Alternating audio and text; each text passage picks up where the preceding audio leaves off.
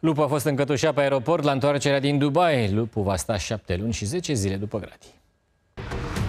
Condamnat la închisoare pentru că a condus fără permis, Lupu s-a predat după aproape o săptămână. Lupu a fost luat de polițiști în aeroport la întoarcerea din Dubai, unde i-a fost alături soției de ziua ei. Lupu va sta șapte luni și 10 zile după gratii.